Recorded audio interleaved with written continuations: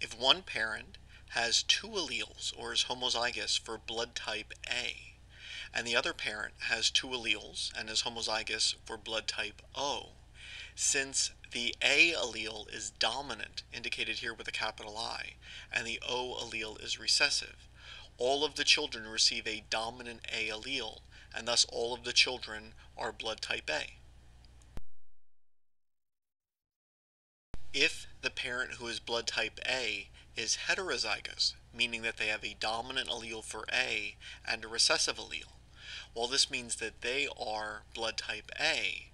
They will make two types of gametes. Half will contain the dominant allele for A, half will have a recessive allele for O. And if their significant other is blood type O, half their children will receive two recessive alleles and be blood type O.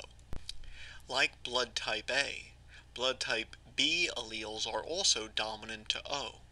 So if an individual has two alleles for blood type B, they are homozygous, then that means that they will give all of their children an allele for being blood type B.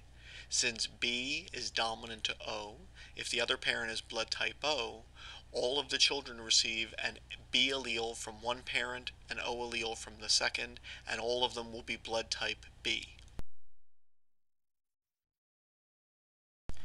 If the parent with blood type B is heterozygous, if they have a B allele and an O allele, they will give half their children the B allele, and thus half their children will be blood type B. They will give the other half of their children the recessive O allele. And since these individuals will get a recessive O allele from each parent, they will be blood type O. The alleles for blood types A and B both result in specific sugar chains put on the uh, surface of red blood cells, and neither will counteract the other. And so, if one receives uh, an allele for being blood type A from one parent and an allele for being blood type B from the second parent, this individual would then be both blood type AB.